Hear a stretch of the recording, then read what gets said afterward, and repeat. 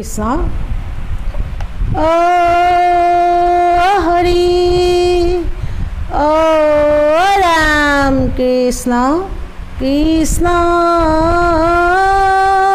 শংকৰ গুৰু হৰি ৰাম ৰাম ৰাম হৰি ৰাম ৰাম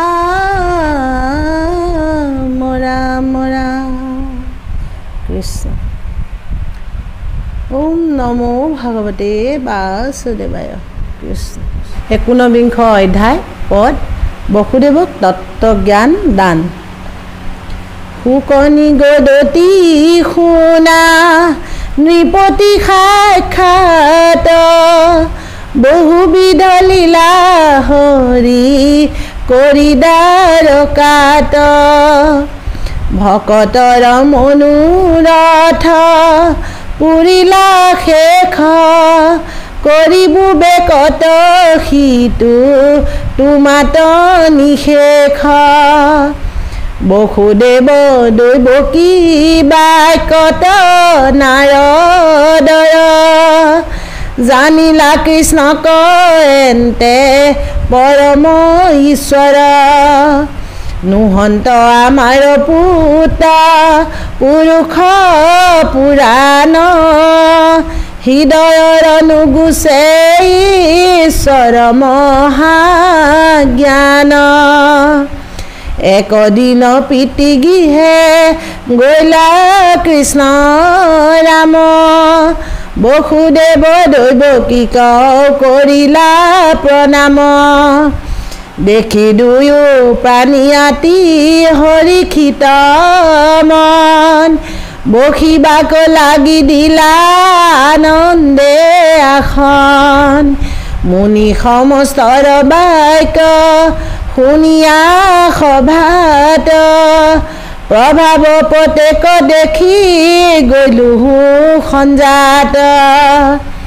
পৰম ঈশ্বৰ দুয়ো সাক্ষাতে আকলি বুলিব লাগিলা সৰি কৰি কীতাঞ্জলি কৃষ্ণ তেওঁলোকৰ বসুদেৱ দেৱকীৰ পুত্ৰই যে জগতৰ ঈশ্বৰ ভগৱন্ত তেওঁলোকে এইটো কথা নাজানিছিলে। কৃষ্ণৰ আচলতে মায়াই তেওঁলোকক ঢাকি ৰাখিছিলে পুত্ৰবধ জ্ঞান পাবলৈ দিছিলে। তাৰমানে মায়াক কৰি মোহি থৈছিলে আৰু ধৰক নজনাকৈ গতিকে এতিয়া নাৰদৰ বাক্যত গম পালে যে ভগৱন্ত শ্ৰীকৃষ্ণ হ'ল তেওঁলোকৰ যে পুত্ৰ হ'ল জগতৰ ঈশ্বৰ। গম পায়। বসুদেৱ দেৱকী হৃদয়ৰ পৰা মানে যে তেখেত এজন তেখেত যে ঈশ্বৰ সেই মহাজ্ঞানটো অন্তৰ পৰা অনুগোচা হৈছে এতিয়া। তেনেকুৱাতে আহিছে মানে কৃষ্ণ বলোৰাম দুইজন। মাক দেউতাকৰ ওচৰলৈ গৃহলৈ। লগে লগে তেখেতলোকে বহিবলৈ আসন দিছে। আসন দি আৰু দুইজনকে আকোৱালি ধৰিছে পৰম ঈশ্বৰ বুলি ঈশ্বৰ জ্ঞান কৰি আঁকোৱালি ধৰিছে। আৰু কৈছে আৰু গোটেইখিনি শুনি যাওকচোন এফালৰ পৰা ওলাই গৈছে এতিয়া।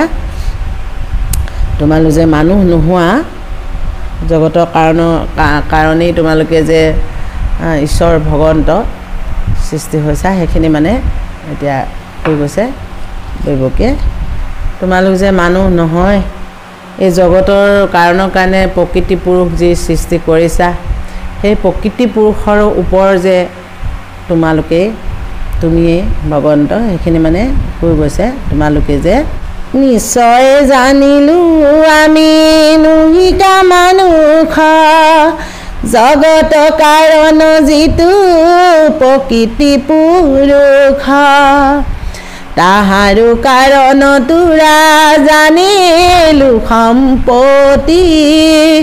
তোমাৰ অধীন দুয়ো পুৰুষ প্ৰকৃতি। জগতৰ সৃষ্টিৰ কাৰণে যিটো প্ৰকৃতি পুৰুষ বুলি সৃষ্টি কৰিছা মানুহক তাৰ ওপৰ যে তোমালোক সেই প্ৰকৃতি পুৰুষ যে অধীন হা তোমালোকৰ অধীন সেইটো কথা বুজি পাইছোঁ মানে বুজি পাইছে? তাকে কৈ গৈছে। সকলোৰে স্বামী হ'ল ভগৱান। সেই গায়ে নহয় বোলে স্বামী ৰাম নেৰু আৰু চৰণ তোমাৰ। এইভাগে পুৰুষ প্ৰকৃতি আমাৰ সকলোখিনি ভগৱন্তৰ অধীন ভগৱানেই হ'ল সকলোৰে স্বামী সকলোৰে ঈশ্বৰ ভগৱন্ত কৃষ্ণ। তাকে কৈছে এতিয়া দৈৱকীয়ে সেইখিনি বুজি পাইছে জ্ঞান পাইছে কৈ গৈছে তাকে কৈ আছে শুনকচোন। স্তুতি কৰি গৈছে আৰু মানে। কাৰণৰো কাৰণ সাক্ষাৎ নাৰায়ণ এতেক জানিয়া লৈলো তোমাত শৰণ। জৈত জীৱা কালত জাহাত হুৱে খ্যাত। যাৰে অৰ্থে যিটো কৰৈ কৰাৱে সাক্ষাৎ অ যাক কৰে সিও সবে পুৰুষ পুৰাণ। তাহাৰো কাৰণ হুয়া দেৱতাই খান। ইটো নানাবিধ সৃষ্টি কৰি জগতৰ। আপুনি পখিয়া প্ৰভু তাৰ ভন্তৰ। জ্ঞানৰূপ শকতি আপুনি ভূয়া হৰি। জগতৰ জীৱৰ প্ৰাণক আশা ধৰি যতে কৌবিশ তত্ত সৃষ্টিৰ নিদান জীৱা শক্তি কৈ সব জগত নিৰ্মাণ। সিও সবে শকতিৰ প্ৰেৰক ঈশ্বৰ। পহাৰে পুৰুষে যেবে তেবে যাই খৰ বায়ুৰ শকতি যেন চলে তিন বন। সেহি মতে জগতৰ ঈশ্বৰ কাৰণ। প্ৰকৃতি মহত যত তত নিৰন্তৰ। জানিলো তুমি মাত্ৰ চৈতন্য ঈশ্বৰ। পৃথিৱীৰ জীৱবিলাক বোলে সকলোবিলাক আৰু। ব্ৰহ্মাকে আদি কৰি সকলো জীৱই জড় ভগৱন্তই হ'ল চৈতন্য। যিমান পৃথিৱীত জীৱ সৃষ্টি কৰিছে চৌৰাশী লক্ষ জীৱ সকলো জীৱৰ অভ্যন্তৰত ভগৱানেই পক্ষী ভগৱন্তই সোমাই সকলোকে ৰক্ষা কৰিছে।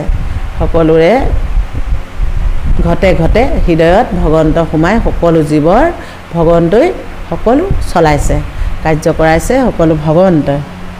ঈশ্বৰে ধৰি আছে কাৰণে ভগৱন্তই বোলে সকলো জীৱৰ প্ৰাণ হ'ল ভগৱান। সকলো ভগৱন্তই সকলোকে হৃদয়ত সোমাই তেওঁ প্ৰাণক সকলোৰে প্ৰাণত মানে ভগৱন্তক সোমাই সকলোকে ধৰি আছে ৰাখি আছে। ভগৱন্ত নহ'লে আজি কি আছে? একো নাই। যেনেকৈ পানী নহ'লে মাছ তাতে মৰণ নহয়নে? জলবিনে মৎস্যৰ কি হয়? তাতে চটফটাই তাতে মৰিব। তেনেকুৱা ধৰণে ঈশ্বৰ ওলাই যোৱাৰ লগে লগে আমাৰ একো নাই। ঈশ্বৰেই আমাৰ জীৱৰ প্ৰাণ ঈশ্বৰেই ধৰি আছে। সকলো কাৰ্য ঈশ্বৰে কৰাই আছে। ঈশ্বৰৰ ইচ্ছা অবিহনেতো একো নহয়। ঈশ্বৰৰ ইচ্ছা অবিহনে বোলে এখিলা গছৰ পাতো লৰিব নোৱাৰে নহয়নে? ভালকৈ ভাবি চাওকচোন। গতিকে সেই ঈশ্বৰে তেনেধৰণে কৰাই আছে কৰ্ম। সকলোৰে হৃদয়ত থাকি তেওঁৱে কৰাইছে। আকাশে সবদগুণে ৰসে সমজল গন্ধে গুণে সমেইটো পৃথিৱী মণ্ডল। ৰূপে সমে চন্দ্ৰ সূৰ্য অগ্নিৰ জ্যোতি পৰশে সহিতে বায়ু তোমাৰে শকতি। ইন্দ্ৰিয়ৰো তুমি সবে শকতি বিধাতা। অধিষ্ঠাতা দেৱৰোতো নিশে অধিষ্ঠাতা। বুদ্ধিৰো নিশ্চয়াত্মিকা তুমি লক্ষ্মীপতি। জীৱৰো তুমি সেৱনো সন্ধান শকতি। ৰাজসিক সাত্বিকতা মহ অহংকাৰ তিনিৰো ঈশ্বৰ তুমি জগত আধাৰ এইখিনি লীলা কথা এতিয়া কৈ গৈছে সুদেৱ দৈৱকীয়ে যে সকলোৱে যে ভগৱন্ত ভগৱানৰ বাহিৰে যে একো নাই এই পৃথিৱীত সকলো তেওঁ তেওঁ লীলাতেই তেওঁ মায়াতেই এই পৃথিৱীৰ সৃষ্টি কৰি তেওঁ এনেদৰে চলাই আছে। সকলোখিনিয়ে যে তেওঁ তাকেই কৈ গৈছে সকলোখিনি। তিনতলিকত যে ভগৱন্তই। ৰাজসিক তামসিক সাত্বিক অহংকাৰত সকলোতে বোলে তুমিয়ে আছা। তিনি গুণত বিভক্ত মানুহ ৰজগুণ তম গুণ আৰু সৎগুণ আহাৰলৈকে ৰজগুণী তমগুণী সৎগুণী তেনেদৰে আছে। এইবিলাক দিয়াও আছে মোৰ চেনেলত ব্যাখ্যা ধুনীয়াকৈ। আপোনালোকে চালেও তাত পাবই। গতিকে বহুত তত্ত্ব বহুত অৰ্থ বহুত হেৰি আছে এইবিলাক। জন্ম মৰণৰো যিটো কাৰণ প্ৰকৃতি জীৱ কোৱা বৰশীটো তোমাৰ শকতি। জগতক ব্যাপী কৰা আপুনি প্ৰকাশ।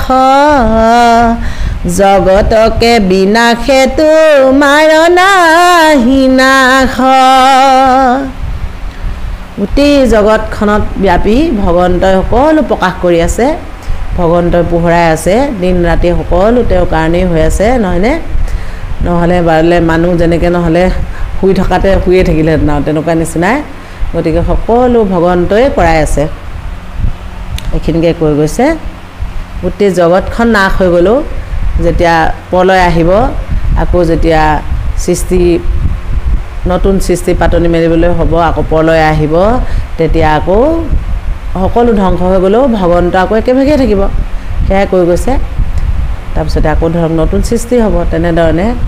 এয়াই ক'লে যে যেন ঘট আকাশে কুণ্ডল হৈ চন্ন জগতকে ব্যাপী কৰা আপুনি প্ৰকাশ। জন্ম মৰণৰো যিটো কাৰণ প্ৰকৃতি জীৱৰ আৱৰসীটো তোমাৰ শকতি সকলোকে জীৱকে তোমাৰ শক্তিয়ে আৱৰি আছে।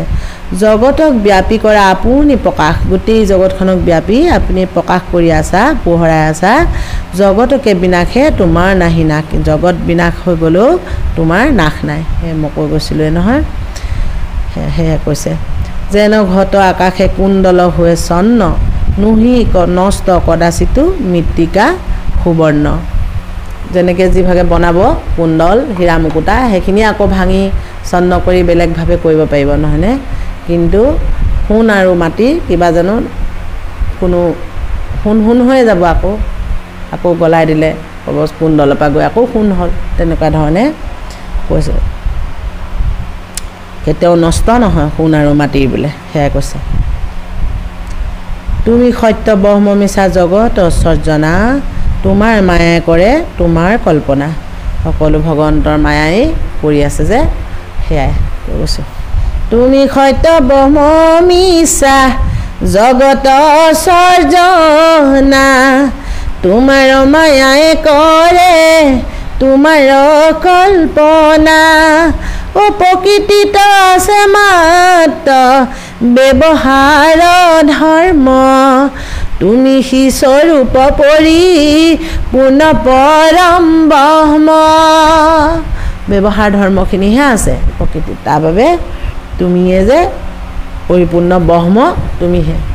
সেয়া কৈছে। ব্ৰহ্মৰূপে সকলো তুমিয়েই চৰ্জি পালন কৰাই আছ কৰাই আছা। ইভাগো তিনি গুণেওতো ভগৱন্তই তিনি গুণে বোলে তিনি মূৰ্তি একেই ভগৱান। তেনেধৰণে ভগৱন্তই ব্ৰহ্মাৰূপে সৰ্জন কৰাইছে বিষ্ণুৰূপে পালন কৰিছে তেখেতে তেওঁ আৰু ৰুদ্ৰৰূপে সংহাৰ কৰাইছে। কিন্তু তিনি গুণে তিনি মূৰ্তি বোলে একেই ভগৱন্ত কৃষ্ণ। বিচাৰ কৰি চালে একেজনেই। ইটো মহাতত্ব জ্ঞান পৰম নিৰ্গুহা ইহাক নজানে যত জীৱ মহামূঢ়। শৰীৰক মই বুলি কৰে কৰ্ম যত। সেহি কৰ্মে অন্ধ হোৱা ভ্ৰমে সংসাৰত। মই বুলিবলৈ মোৰ বুলিবলৈ পৃথিৱীত একোৱেই নাই। হা নাজানি বোলে শৰীৰটোকে মই বুলি মোৰ বুলি অহংকাৰ কৰি মৰে।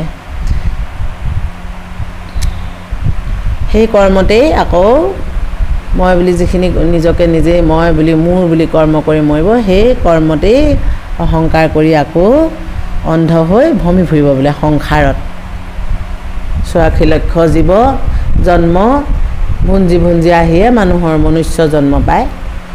সেই কীট পতংগৰ পৰা বিষ্ঠা পলুৰ পৰা পলু বিষ্ঠা পোকৰ পৰা পলুৰ পৰা সমস্ত আৰু মানে জীৱ ভুঞ্জি ভুঞ্জি আহি অৱশেষত মানুহৰ জন্ম পায়। গতিকে এই মনুষ্য জন্মত জন্ম লৈ য'ত দেৱতাসকলেও বাঞ্ছা কৰে মনুষ্য জন্ম ল'বলৈ সেই মনুষ্য জন্ম পায়। সেইকাৰণে কেনেধৰণে চলিব লাগে সেইখিনি জানিব লাগে সেইমতে অভ্যাস কৰিব লাগে তাকে কৈ গৈছে ওলাই গৈছে কৃষ্ণ। তত জ্ঞান কিছু নুবুজো তোমাৰ। ই জন্মত নতৰিলো দুৰ্ঘুৰা সংসাৰ। তোমাৰ এই তত্ত্বজ্ঞানৰ কথা বোলে একো নুবুজো ভগৱন্ত। আমি নুবুজিবলৈ বোলে কিন একো নুবুজো প্ৰভু। এই জন্মত যে নতৰিলোঁ এই দুৰ্ঘুৰ সংসাৰ সেইটোকে কৈ গৈছে। জানিলো নোৱাৰো মই নিয়মী বেচিতা কিনো আধা মৰ মূৰা বুদ্ধি বিপৰীতা। এহি মতে বোলন্তে মিলিলনুতাপ কৃষ্ণৰ আগত সৰি কৰন্ত বিলাপ। কৃষ্ণৰ আগত এইখিনিকে কৈ কৈ দৈৱকীয়ে বিলাপ কৰিছে কৃষ্ণ। ধাৰাই বহয়ে দুয়ো নেতৰলো তাক কৰন্ত কৰোণা চাই ঈশ্বৰ কৃষ্ণক। নৰহে ঈশ্বৰ জ্ঞান তৰিবু কি মতে দুৰ্লভ মনুষ্য জন্ম লভিলো ভাৰতে।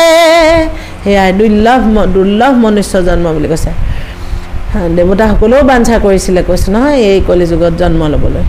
গতিকে দেৱতাসকলেও দুৰ্লভ জন্ম মানুহে পোৱা হৈছে। গতিকে এইখিনি পাই কি কৰিব পৰা নাই পাৰিছে তাকে কৈ গৈছে দৈৱকীয়ে। শুনকচোন আমি ভাবিব লাগিব আমিয়েই ভগৱন্তক এইখিনি বিলাপ কৰিছোঁ বুলি। কৃষ্ণ। ৰাম ভৈলো মহামতময়ী আপোনাৰ অৰ্থে তোমাৰ মায়াই আয়ু গৈল সব ব্যৰ্থে মোক কৈছিলোঁ নহয় ভগৱন্তৰ মায়াই ভগৱন্তই মায়া কৰিয়েই পুত্ৰ বুলি ভাবাই ৰখাইছিলে পুত্ৰবধ জ্ঞান কৰি গৈছিলে। এতিয়াহে যে সেই মায়াৰ ঢাকোন খোল খালে নাৰদৰ বাক্যত যেতিয়া গম পালে ঋষিমুনিসকলেও গম পোৱালে নাৰদৰ বাক্যত যেতিয়া গম পালে তেতিয়াহে গম পাইছেগৈ। হৃদয়ৰ পৰাও যেতিয়া জ্ঞানটো নোযোৱা হ'ল যে ভগৱন্ত বুলি তত্ত্বজ্ঞান। গতিকে তেতিয়াহে জ্ঞান পাইছে। গতিকে ইমান দিনেতো আয়ুস এনেই যোৱালোঁ। ইমান দিনৰ আয়ুসখিনি এনেই গ'ল ভগৱান বুলি গম নোপোৱাকৈ। সেইখিনিকে মানে এতিয়া বিলাপ কৰি কৈ গৈছে দৈৱকীয়ে। শুনি যাওক কৃষ্ণ। ধন জন পুত ভাইজা আকে বোলো মোৰ শৰীৰক মই বুলি ভৈলো সেৱাচুৰ এহি অপৰাধে স্নেহ বাসে আছে বান্ধি নিবেদন্ত দুখ বসুদেৱে কান্দি কান্দি। অত কোটি জন্মময়ী ভমু সংসাৰত কিমিকিত পক্ষী হুয়া আচুনা নামত। এয়া চাওকচোন মই জনাই নজনাই যি কৈ গৈছিলোঁ। চৌৰাশী লক্ষ জীৱৰ ভিতৰত যে এয়া কিমিকিত পক্ষীৰ পৰা পৰা কিমান জীৱ ভুঞ্জি ভুঞ্জিহে মানুহৰ ৰূপ পোৱা যায় তাকে এতিয়া এতিয়া দৈৱকীয়ে বিলাপ কৰি হোৱাৰ পাছত এতিয়া বসুদেৱে এইখিনি কথা আকৌ বিলাপ কৰি কৈ গৈছে ভগৱন্তক। চাওকচোন কেনেকৈ যে ভ্ৰমিলোঁ বোলে সংসাৰত। কত জন্ম লভি লভি কিমিকিত পক্ষী হুয়া নানা মতে মই ভ্ৰমি আহি এই জীৱ মনুষ্য জীৱ ধৰিও যে এইখিনি বয়সলৈকে যে ভগৱন্তক বুজি নাপালে সেইখিনি এতিয়া বিলাপ কৰি আকৌ বসুদেৱো বিলাপ কৰিছে শুনকচোন। এতিয়া তাকে কৃষ্ণ। মহি মহাদিন দেৱ পৰমনাথ। কৰা পৰিতান আবে বাপ জগনাথ হেন বাবুলিবা আমি তোমাৰ তনয়। কৃষক বোলা হামুক এতে বিনয়। মুহুৰ আগত কেনে কৰা অনুতাপ?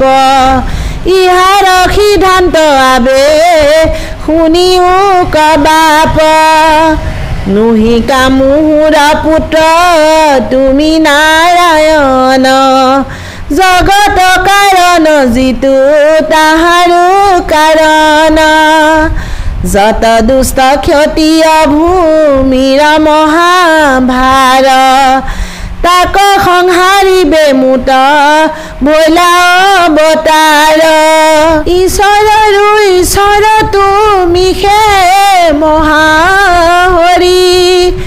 মায়াই মনুষ্য চেষ্টা কৰা বতৰি মুনি সমস্তৰ বাক্য শুনি আস ভাত জানিলো প্ৰভাৱ প্ৰভু দেখিলো সাক্ষাৎ। চেদিও কস্নে সময় মোৰ মহাপাশ।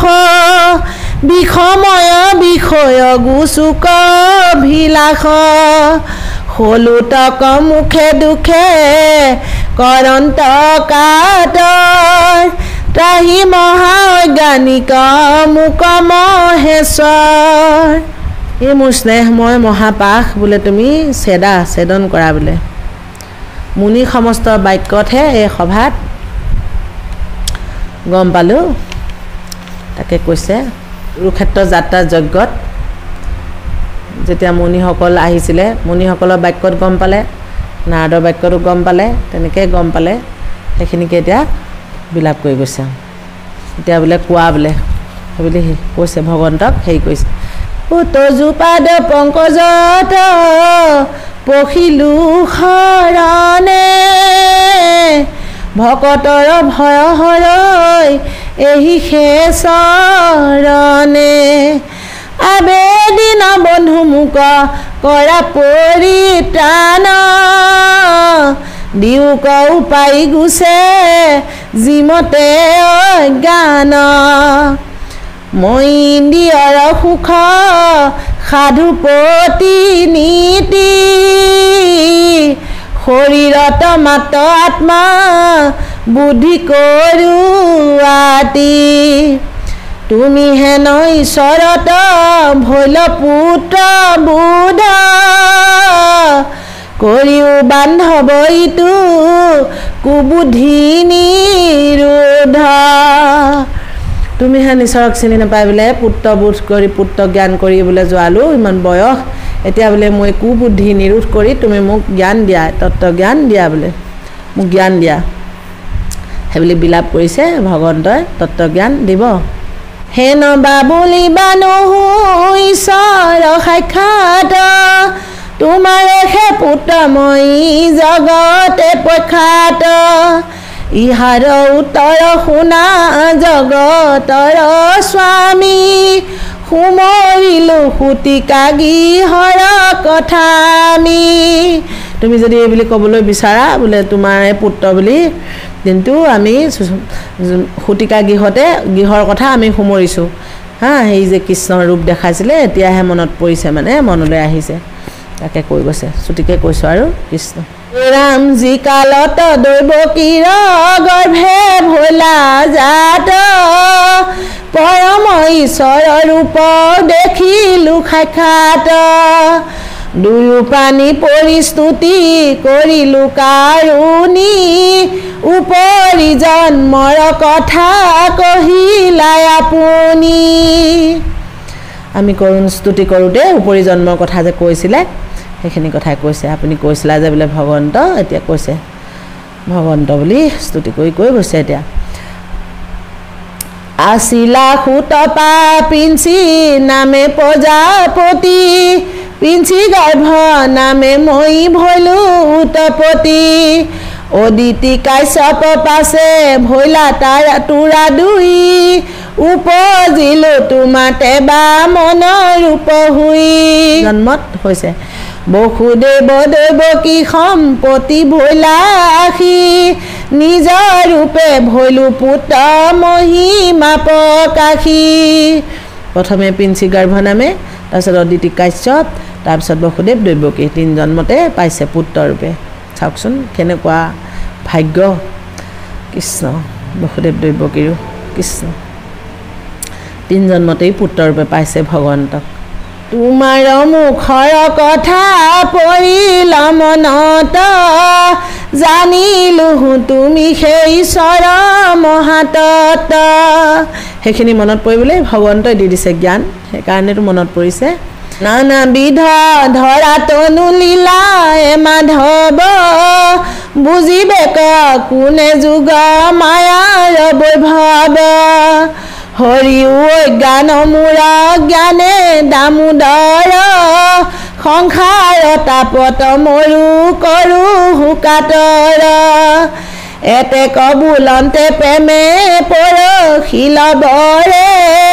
নয়নৰ নিৰসৰ সৰি চৰি পৰে। সেইবুলি কৈ নয়নৰ নীৰ একদম ঝৰঝৰি সৰি পৰিছে বোলে। চকুৰ পানীয়ে বাট নেদেখা হৈছে। লুটকে বেঢ়িল কণ্ঠ গদ গদ মাত। তমিল কৃষ্ণক চাহি কৰি জোৰ হাত। এই ৰাম পৰীক্ষিত ৰাজাতক সন্ত শুক মুনি। পিতি বসুদেৱৰ কাৰুণ্য বাণী শুনি। ভৈলন্ত সন্তুষ্ট কৃষ্ণ দেৱ কৃপাময়। বুলিলন্ত হাসি হাসি বচন বিনয় ভগৱন্ত বসু পিতৃ বসুদেৱৰ কাৰুণ্যবাণীত ভগৱন্তই সন্তুষ্ট হৈ এতিয়া কৃষ্ণ কৃপাময়ে হাঁহি হাঁহি হাঁহি হাঁহি ক'ব এতিয়া বোলে। ৰাম নলাগয় জ্ঞান তুমি স্বভাৱে কীতাৰ্থ যতে কহিলা মানে এহি পৰমাৰ্থ। তোমাক আৰু বোলে জ্ঞান নালাগে তুমি স্বভাৱতেই জ্ঞানী। স্বভাৱেই তুমি কীতাৰ্থ। যিমান কহিলা ক'লা মেলিলা এতিয়া স্তুতি কৰিলা সেইখিনিয়ে হ'ল পৰমাৰ্থ। তুমি পৰমাৰ্থৰ তত্ত্বৰ কথা বোলে নিজেই কৈ গ'লা সেইবুলি ভগৱন্তই কৈছে। পৰম মহন্ত পিতি পৰিহৰা খেদ তথাপিতো কহু জ্ঞান লোৱা পৰিছেদ। মোৰ পিতৃ তুমি বোলে পৰম মহন্ত তুমি দুখ এৰা কষ্ট মন ত্যাগ কৰা। তথাপিতো তুমি যা সকলো জানিলেও মই তোমাক এতিয়া জ্ঞানৰ কথা ক'ম। তথাপিতো কহু জ্ঞান লোৱা পৰিছেদ এতিয়া জ্ঞানৰ কথা ক'ম শুনা বোলে। কৃষ্ণ। আমাক উদ্দেশী নিৰূপিলা তত যত এহিটো পৰম জ্ঞান মুহুৰ সন্মত। কিন্তু সমস্ততে কৰা এহি ব্ৰহ্ম দৃষ্টি তাপ দূৰ হৈ যেন মিতৰ বৃষ্টি। কৃষ্ণ কৃষ্ণ। আমাক মোক উদ্দেশ্যি যিখিনি বোলে তত্ত্বজ্ঞান নিৰূপিলা ক'লা এয়াইটো হ'ল পৰম জ্ঞান। মোৰ সন্মত এয়া ইয়াতেই মোৰ সন্মত এয়াই হ'ল পৰম জ্ঞান। কিন্তু সমস্ততে কৰা এহি ব্ৰহ্ম দৃষ্টি তাপ দূৰ হৈ অমিতৰ বৃষ্টি। মোৰ অমিত বৃষ্টি পৰি তাপ দূৰ হওক বোলে তাপ দূৰ হৈ হ'ব। এই সমস্ততে এই সমস্ত ব্ৰহ্মতে মোক উদ্দেশ্যি যিখিনি তত্ত্বজ্ঞান নিৰূপিলা এয়াই হ'ল পৰম জ্ঞান এয়াইতে মোৰ সন্মত। কিন্তু সমস্ততে কৰা আহি ব্ৰহ্ম দৃষ্টিয়ে চোৱা ব্ৰহ্ম দৃষ্টি কৰা তাপ দূৰ হৈ যেন অমিতৰ বৃষ্টি এতিয়া তাপ দূৰ হ'ব অমিতৰ বৃষ্টিয়ে তাপ দূৰ হ'ব।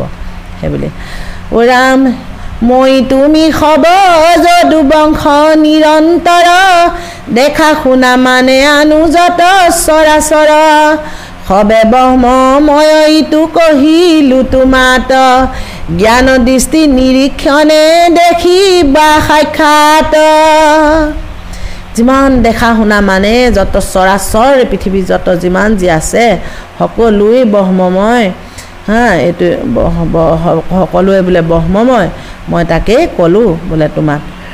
জ্ঞানৰ দৃষ্টিয়ে নিৰীক্ষণ কৰিলে সকলো দেখিবা সাক্ষাতেই দেখিবা বোলে সেইবুলি কৈছে দেউতাকক। নিত নিৰঞ্জন স্বপ্ৰকাশ আত্মায়েক মায়া উপাধিৰ পদে দেখিয় অনেক। নিত্য নিৰঞ্জন স্বপ্ৰকাশ সকলো আত্মা এক বোলে মায়াৰ উপাধিয়েহে সকলোকে বেলেগ বেলেগ দেখে। বেলেগ বেলেগ দেখে। যেনেকৈ কৈছে কৈ কৈ যোৱা কুকুৰৰ চিগাল বোলে গদৰ ভৰু আত্মাৰাম সবা কুপৰীয়া সবে কৰিবা প্ৰণাম। সকলো আত্মা সকলোতে একেজনেই ভগৱান সকলো এক।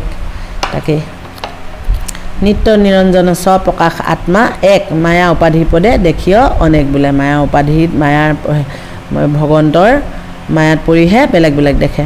তাকে নহ'বৰ কাৰণেই ভগৱন্তক চিন্তা কৰিব লাগিব। আকৃতি মানে মায়াময় সৃষ্টি। হেন জানি কেৱলে ব্ৰহ্মত দিয়া দৃষ্টি। এয়া হ'ল মায়াময় সৃষ্টি ভগৱন্তৰ মায়াময় সৃষ্টি মায়াময় লীলা। সেইকাৰণেই বোলে ব্ৰহ্মত দৃষ্টি দিয়া। ভগৱন্তই যে পৰম ব্ৰহ্ম ঈশ্বৰ তাত দৃষ্টি দিবলৈ কৈছে। স্বৰূপত একে মাত্ৰ মৃত্তিকা আকাৰ? অ ঘট সৰ ভেদে দেখি অনেক ভ- বসুদেৱেও কৈ গৈছিলে সেইখিনি কথা। সোণ আৰু মাটিৰ কথা নহয়নে? ভগৱন্তই ইয়াক কৈ দিছে স্বৰূপত একে মাত্ৰ মৃত্তিকা মৃত্তিকাৰ আকাৰ। ঘট সৰ ভেদে দেখি অনেক প্ৰকাৰ কিন্তু বেলেগ বেলেগকৈ যেতিয়া বনাব তেতিয়া কিন্তু বেলেগ বেলেগ আকাৰ ল'ব। এই ঘটি এই বাতি বোলে এই কিবা মাটিৰ বাচনৰ কথাই উদাহৰণ দিছে যেনিবা। তেনেকৈ বেলেগ বেলেগ ৰূপ লয় কিন্তু স্বৰূপত আকৌ একেজনেই হয়। একেই হয়। আকৌ সেইখিনি যেতিয়া ভাগি গ'ল হেৰি হৈ যাব একেই মাটি আকাৰে ল'ব নহয়নে সেয়া স্বৰূপত একে মাত্ৰ মৃত্তিকা আকাৰ ঘট সৰ ভেদে দেখি অনেক প্ৰকাৰ সেয়া। হিমতে অনেক দৈত্য আত্মাবোধ মায়া উপাধিৰ পদে দেখি বহুবিধ মায়াময় নাম ৰূপ সবাকুপেক্ষা অন্ত জানি মই ঈশ্বৰক মাত দেখা। স্থিৰ চিতে অভ্যাসীও প্ৰীতি মহাশয় দেখি বা জগত সবে নাৰায়ণময় উম। অন্তজামী যে মই ভগৱন্ত মই ঈশ্বৰক দেখিবলৈ চোৱা। তেতিয়া স্থিৰ চিত্ত হৈ যেতিয়া অভ্যাস কৰিবা পিতৃ মহাশয় তেতিয়া বোলে সকলো জগতখনেই গোটেই জগতেই নাৰায়ণময় দেখিবা। তেতিয়াই সকলো জগত নাৰায়ণময় দেখিবা বোলে। কুহিলা ৰহস্য মহা তত্ত জ্ঞান ভেদ। শুনিব সুদেৱৰ সংশয় ভৈল চেদ ৰহস্য কথা যেতিয়া ক'লে তত্ত্বজ্ঞানৰ কথা তেতিয়া বসুদেৱৰ সংশয় ছেদন হ'ল। মই আচলতে বেছি সুৰ লগাই বেছি হেৰিকৈ বা যে এনেকৈ মই পঢ়া অভ্যাস নাই মোৰ ঘৰত যেনেকৈ পঢ়া হয় তেনেকৈয়ে পঢ়ি যাওঁ। কিন্তু ইভাগেও পঢ়াত কোনো হেৰি নাই আপত্তি নাই। কিন্তু ধৰক মই যেনেকৈ অভ্যাস ঘৰত পঢ়োঁ তেনেকৈহে মই পঢ়ি যাওঁ আৰু। কৃষ্ণ। কাৰণ অধ্যাভাগ গোটেইভাগ দিলেও দীঘল হৈ যায়গৈ। এনেকৈ চুটি সুৰতে পঢ়ি যাওঁ। মই আচলতে ভাবি নাথাকোঁ আগতীয়াকৈ যে এনেকৈ কৰিম তেনেকৈ কৰিম এনেকৈ পঢ়িম সেইটো আপোনালোকে ধৰিব পাৰিছেই নিশ্চয়। ভালকৈ ভাগৱতৰ পাঠ মোৰ শুনিছে শুনিবচোন। চাব মই মাত্ৰক। যেনেকৈ ওলাই যিমতে সেইমতেহে পঢ়ি যাওঁ আৰু যেনেকৈ দিয়ে সেই সময়ত আহে সুৰটো। ভাবামতে নহয় কৃষ্ণ। এতিয়া এই মহাতত্ব জ্ঞান ভগৱন্তই যেতিয়া দিলে বসুদেৱৰ সংশয় ছেদ হ'ল আৰু এতিয়া। বসুদেৱ দৈৱকীৰ কৃষ্ণ। কৃষ্ণ। ধৰিলানি বীৰ ধ্যান কৰি থিৰ চিত্ত গুচিল প্ৰপঞ্চ সবে ঈশ্বৰ বিদিত। নেদেখন্ত একো আন শৰীৰ পৰ্যন্তে প্ৰকাশন্ত একমাত্ৰ ব্ৰহ্মক গাঁৱতে কৃষ্ণ। ব্ৰহ্মই প্ৰকাশ হ'ল ব্ৰহ্মময় দেখিছে এতিয়া মানে। গোটেই শৰীৰত গোটেই গাঁৱতে ব্ৰহ্মময়ে দেখিছে এতিয়া বসুদেৱে। নানা বিধ ভেদ বুদ্ধি ভৈল দূৰ মিলিল আনন্দ মহা মনত প্ৰচুৰ। দ্ৰবিল হৃদয় ভৈল লোমাঞ্চ শৰীৰ প্ৰেমৰ ভৰত ঝুৰে নয়নৰ নীৰা মহাপ্ৰীতি পাই পাছে হৰি মহাশয়। অ থাকিলন্ত তম্ভিয়া লভিয়া মহোদয়। কহে শোক শুনিলানি প্ৰতি বিদ্যমান। যেন মতে বসুদেৱে পাইলা মহাজ্ঞান। তত উপদেশে প্ৰভু প্ৰীতি কটুখিলা শুনাবে আৰু ঈশ্বৰৰ মহালীলা। হৰি ৰাম ৰাম ৰাম ৰাম কৃষ্ণ কৃষ্ণ কৃষ্ণ।